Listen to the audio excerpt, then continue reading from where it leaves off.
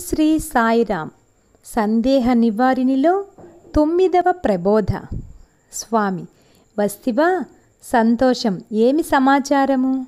భక్తుడు తమ సమాచారము తప్ప మాకు వేరేమున్నది స్వామి. తమ కేరళ సంచారము అత్యంత ఆనందముగానో అద్భుతముగానో ఉండెనని వింటిని. అయితే ప్రాప్తి లేకపోయినను చింత తప్ప మరేమీ లేదు. స్వామి దానికి చింత ఎందుకు? విని సంతోషపడవచ్చును గదా. తిరిగి అట్టి అవకాశము కలిగినప్పుడు నేను కూడా పొందవలనను దృఢత్వము ఉత్సాహము ఉండవలను కానీ గడిచిన దానికి చింతించరాదు. భక్తుడు ప్రాప్తి లేకున్నా ఎంత దృఢత్వము ఉత్సాహము ఉండియు ప్రయోజనమేమి? అట్టి ఆశ మరింత నిరాశ కలిగించును కదా. స్వామి ప్రాప్తికి ఒక రూపమున్నదా? ముందే తెలియుటకు కేవలము ప్రాప్తి ప్రాప్తి అని ప్రాప్తికై కాచుకొనకూడదు ఇచ్ఛా ప్రయత్నములు కర్మ రూపమున ఆచరించుకున్నా ప్రాప్తి ఇండియు ఎట్లు సిద్ధించును? ఎంతటి ప్రాప్తికైనను కర్మను ఆచరించుట అవసరము? కర్మ సహాయము లేక ప్రాప్తి సిద్ధించదు కదా? భక్తుడు ప్రాప్తి ఉండిన అన్నయు వాటంతటా అవే చేకూరును కదా? స్వామి అదే పెద్ద పొరపాటు. పండు చేతి ఎందుంచుకొని ప్రాప్తియే ఉండినా దాని గుజ్జును బొజ్జన చేరునని ఊరకుండినా ఎట్లు చేరును? తిని మృంగునటువంటి కర్మను నీవు ఆచరించక గుజ్జు నాకు ప్రాప్తించలేదని ఏడ్చుట ఎంత వెర్రితనము? ప్రాప్తి వలననే కాయ నీ చేతికి చిక్కింది కర్మ వలన దానిని అనుభవించుకొనవచ్చును. కర్మ లేక ఎట్టి దానిని సహితము అనుభవింప వీలులేదు కర్మ కర్తవ్యము ప్రాప్తి కర్మ ఫలము కర్మ లేక ఫలము లేదు. భక్తుడు స్వామి అయితే ప్రాప్తి ప్రాప్తి అని దానిపై భారము వేసి ఊరకుండకూడదా? స్వామి నీ శక్తి లోపము లేక దానికి తగిన కర్మ నాచరించుచు ప్రాప్తిపై భారము వేసి మెలంగుట ఉత్తమము కానీ తగిన కర్మను ఆచరించక ప్రాప్తి ప్రాప్తి అని ఊరక కూర్చున్నా అది పెద్ద తప్పు. ఫలము చేజిక్కిన ప్రాప్తియు సిద్ధించదు. కర్మను ఎట్టి వారైనను ఆచరించియే తీరవలెను. భక్తుడు అవునవును స్వామి గీత ఎందు కూడా కృష్ణ పరమాత్మ ఒకనొక సమయమున అర్జునునకు పిచ్చివాడా? నేనే కర్మ ఆచరించకుండినా లోకమే జరుగదు. ఇక నీవు కర్మ ఆచరించకుండిన కర్మ పురుష ఫలం ఎట్లు సిద్ధించునని సెలవిచ్చెను. కర్మ పురుష లక్షణమన్నమాట స్వామి అయితే స్త్రీ లక్షణము వేరేయున్నదా పిచ్చివాడ? కర్మ ఒక పురుష లక్షణమే కాదు ప్రకృతి లక్షణము. పురుషులైనను స్త్రీలైనను క్రిమి కీటకాదులైనను వృక్ష జంతువులైనను లోకమునందుండు సమస్తము కర్మను ఆచరించక తప్పదు. తత్ఫలితమే ప్రాప్తి అప్రాప్తి. కాన కర్మ ప్రకృతి లక్షణమని తెలుసుకో పురుష లక్షణమని ప్రయోగింపకము. పురుషుడు పరమాత్ముడొక్కడే. ప్రకృతి అంతయో శక్తి స్త్రీ మీరందరూ పురుషులు కారు. జాగ్రత్త. భక్తుడు. అట్లయినా స్త్రీ పురుషులని ప్రకృతి సంబంధమునందు కూడాను ఒక మార్పు కనిపించుటే గాక ఆచరించుచు అనుభవించుచు ఉన్నామే. అట్లుండియు అందరూ స్త్రీలనుట ఎట్లు సాధ్యమగును స్వామి? అనవలనన్నను వీలు కాదే? స్వామి బాబు ప్రకృతి సంబంధమునకు మీరట్లు భావించవచ్చునే కానీ యథార్థమునకు అట్లు కాదు. ఇవన్నీ లోకానుభవము కొరకు లోకపు వాడుక యొక్క అర్థనామములు కానీ యథార్థ నామములు కావు. ఇవి వేషములు. పురుషుడు కొన్ని కొన్ని నాటకములందు స్త్రీ వేషము వేయును. అంత మాత్రమున వాడు స్త్రీయగున కొన్ని కొన్ని సమయములందు స్త్రీ పురుష వేషము ధరించును. అంత మాత్రమున స్త్రీ పురుషుడగున? ఇవి ఈ ప్రకృతి నాటకముల కొరకు ధరించిన వేషములు. పెట్టిన పేరులే. కానీ ప్రకృతి అంతయు శక్తిమయమైనప్పుడు ఎన్ని వేషములు వేసిన శక్తియే కానీ పురుషుడు కాడు. అసలు పురుషుడు ఒక్కడే అతడే శివుడు అతడే ఆత్మ. అట్టి ఆత్మ అందరియందు చేరియుండుట తప్ప చేరినంత మాత్రాన అందరూ పురుషత్వమును పొందరు. ఇది అంతయు ఒక నాటక రంగము. అందులో వేషములు కథలు వేరువేరు. చూడు బాలికల పాఠశాలలో ఆడామగ వేషములు రెండునూ బాలికలే వేసినట్లుగా ప్రకృతి రంగములో శక్తిని ఇన్ని వేషములు వేసి నటించి అనుభవించుచున్నదే కానీ యథార్థం ఇది కాదు బాబు. భక్తుడు. ఏమో స్వామి ఇవన్నీ వింటుంటే ప్రపంచము అర్థమే కాదు. ఒకవైపు చూసిన సత్యమనియు మరొక వైపున అసత్యమనియు ఏది దృఢముగా లేకు ఉన్నది? స్వామి అందుకనే ఏదియు సత్యము కాదని అసత్యము కాదనియే ఈ జగత్తును మిథ్యయని పిలుచుట. ఆ మిథ్యాలోకములో జనించిన వాడవు కనుక నీ మనసు కూడాను దానిని నమ్మక దీనిని నమ్మక మిథ్యారుణములతోనే ప్రవర్తించుచున్నది.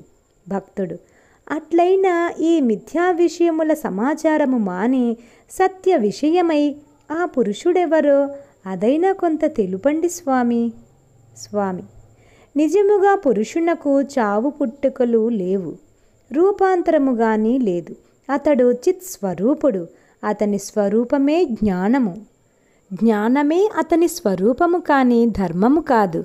ఈ జ్ఞానము సహితము కొన్ని సమయములందుండి కొన్ని సమయములందు పోవునది కాదు.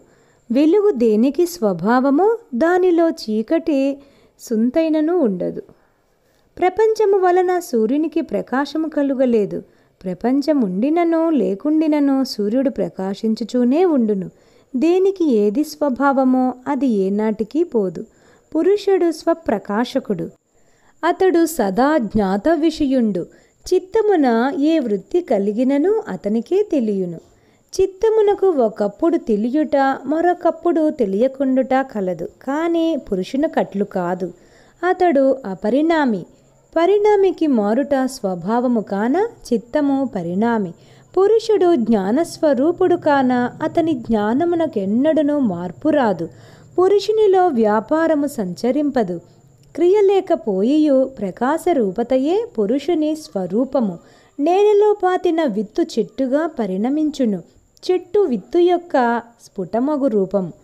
విత్తు చెట్టు యొక్క అస్ఫుట రూపము. ఈ పరిణామములమున బీజశక్తియు శక్తి వ్యాపారమును కలవు. విత్తురూపు చెట్టుగా మారును. ఇది పరిణామము. పురుషుడు వికారము పొందని ద్రష్ట.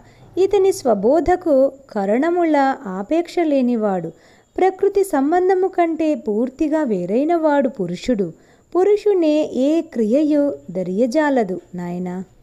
భక్తుడు అట్లయినా ఇందులో ప్రకృతి ఏది పురుషుడు ఎవరు స్వామి? స్వామి ప్రకృతి పురుషులు మూలతత్వములు. దృశ్య భావమునకెల్లా మూలము ప్రకృతి. ద్రష్ట్య భావమునకెల్లా మూలము పురుషుడు. అమూలం మూలం అను న్యాయము చేవీనికి కారణాంతరములు లేవు. కారణము లేనిది అనాది కాన ప్రకృతి అనాది పురుషుడు అనాది భక్తుడు ప్రకృతి అనాది పురుషుడు అనాది అయిన ప్రకృతి పురుషుల సంయోగము వలన కలుగు సంసారము ఎందుకు అనాది కాదు? స్వామి సంసారమున సహేతుకము గాని ఆహేతుకము కాదు. సంయోగము అవివేక హేతుకము అవివేక ప్రత్యయము వలన సంయోగము సంయోగము వలన తిరిగి అవివేకము. ఇట్లు సంయోగము అవివేకముల అనాదిత్వ బీజ వృక్షముల చందము. భక్తుడు సంయోగమనగా ఏమి? దాని స్థితి ఎట్టిది? స్వామి ప్రకృతి పరిణామమగు గుణములందు పురుషుని ప్రతిబింబము చూడు. ఒక ఉపమానము. సూర్యుడు నీరు కాదు. నీరు సూర్యుడు కాదు. ఇటులయ్యు ఈ రెండింటికి సంయోగం ఉన్నచో ప్రతిబింబం ఏర్పడును. ఈ ప్రతిబింబమునకు జల స్వభావము లేదు సూర్య ప్రభావము లేదు మరి లేను పోలేదు.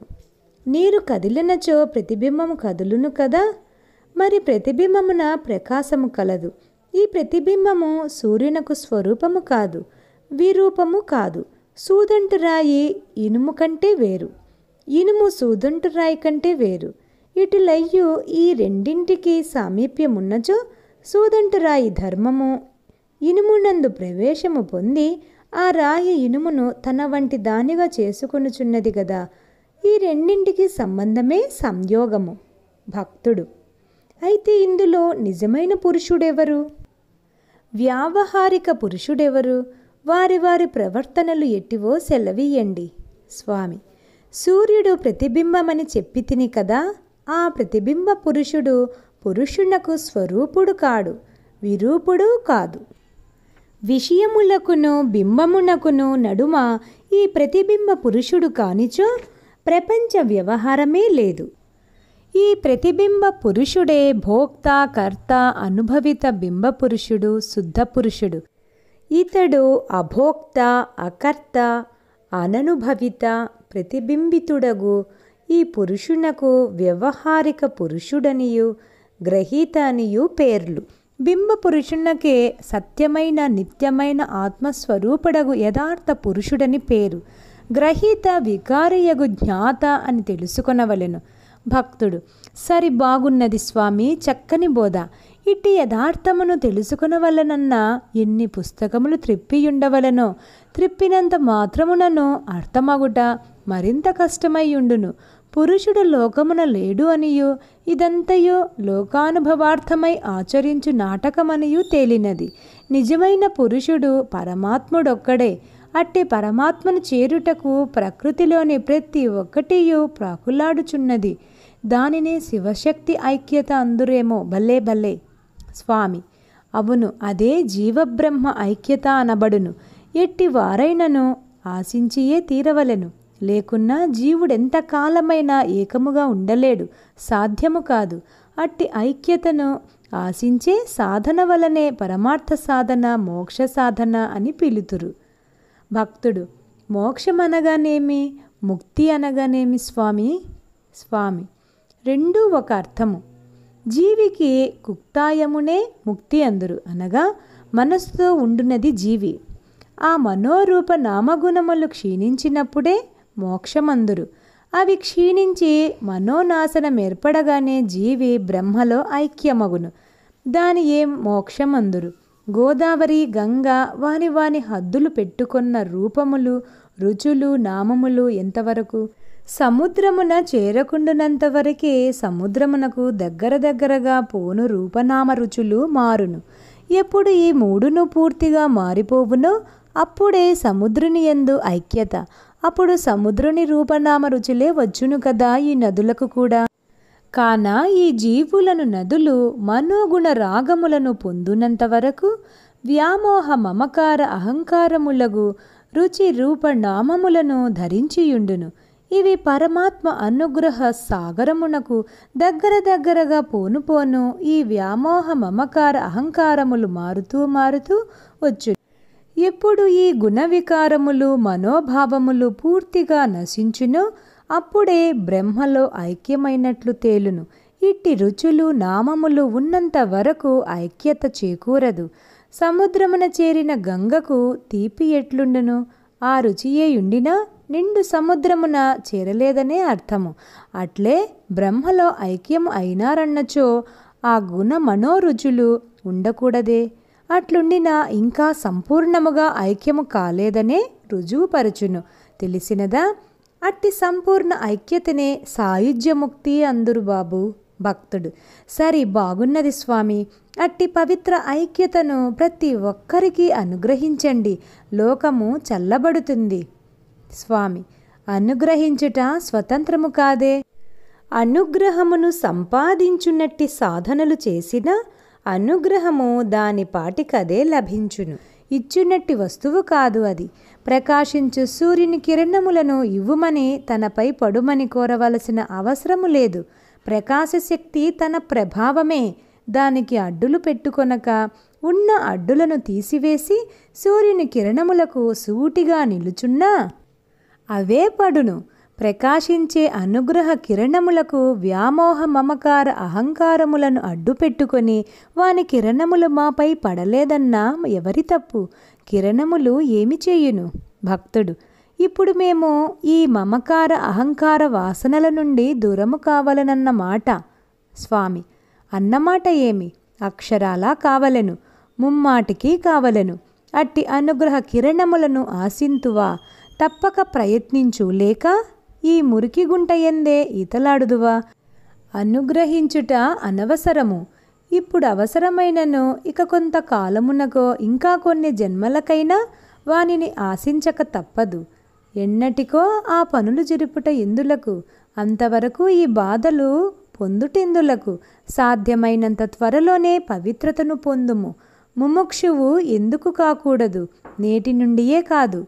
ఈ నిమిషము నుండియే క్రమక్రమముగా ప్రయత్నించు వెళ్ళిరా.